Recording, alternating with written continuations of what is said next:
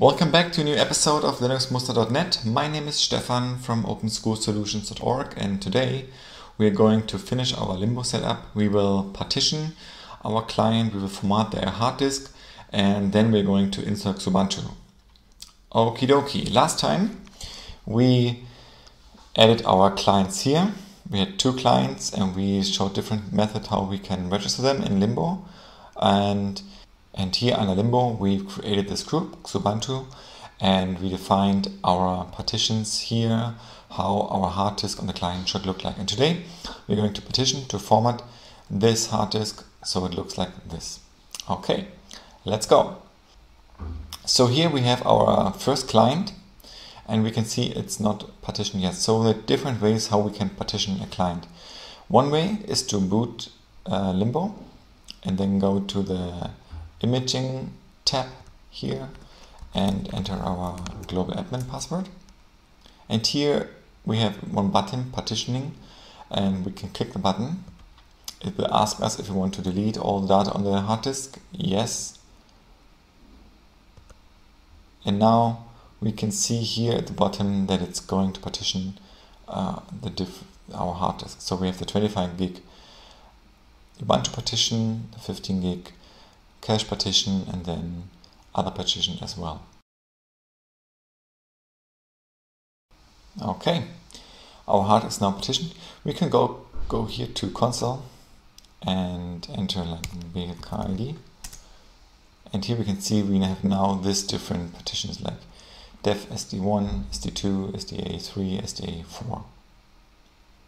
Okay, so this is one way how you could how you can partition your client. Um, but if you have a lot of clients you want to partition all at once, there's another way to do. So here under Xubuntu, we go and edit this group. And under general, we check the first two options, auto partition recovery and auto partition formatting. And then save this. Now we go to our second client and reboot this. And now we can see that it automatically starts formatting our client. So it's created all the partitions, our root partition, cache partition, data and swap file. Okay. Now both our clients are um, formatted, but we should uh, go back here. And if we finished all formatting our clients, we should go back to Xubuntu and uncheck these options. So otherwise, every time we will boot our client, it will from start formatting, and this is not what we want. Okay, now we're going to install Xubuntu. So we have our first uh, master client here. Now we select here our Xubuntu desktop image.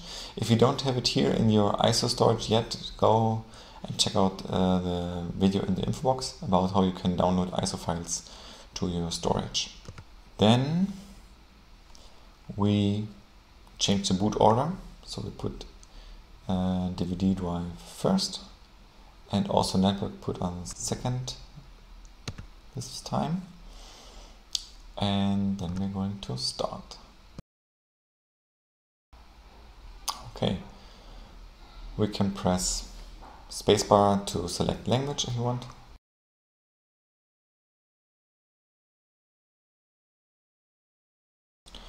Okay, and we're going to select install Ubuntu.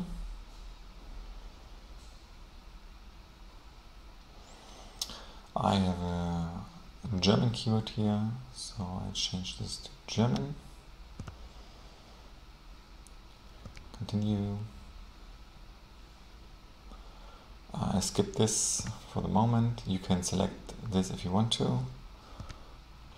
And here with installation type we need to select something else. And then continue. And now we see our uh, partitions here. And we set our first OS partition is the first one here. So we select this. And click change and we want to use this partition as uh, ext4 and also use it as a root partition. We can select form format this partition if you want to, but we actually don't have to. Just do it anyways. And swap partition change and it's already used as swap area. Okay. And we want to install the boot to the to this file here.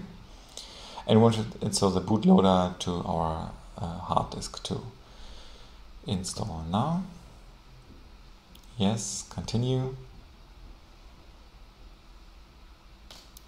And we can select our time zone.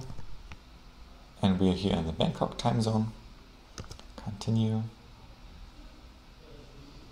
Now we select uh, an admin user. Let's call it Linux admin. Computer name is our room 100 PC01 and username and password.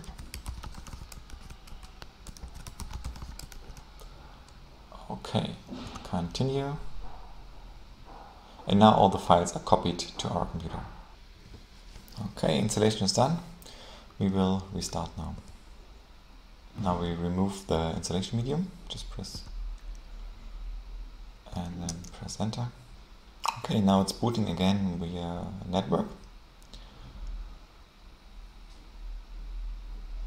So Linbo is booting because you always want that Linbo is in the master boot record. So it always boots Linbo first. So we can boot from Linbo, we can boot the client operation system like Xubuntu. We don't want Xubuntu to boot it right through. Now we have Linbo boot again. So we can press here this green button to just start the operation system from the first hard disk. If we press the this yellow circle arrows, then it will sync our first partition. We don't have an image yet, so we don't want that. So we click the green button to start Xubuntu. Okay, here we go. Here we have our um, Xubuntu client basic installation. Xubuntu is booted up, basic installation is finished. In the next video we are going to do some more adjustments so we can deploy the image easily to other client computers. So I hope to see you soon in the next video. Please like this video and subscribe to our channel if you want to see more videos about open source software that you can use in your school.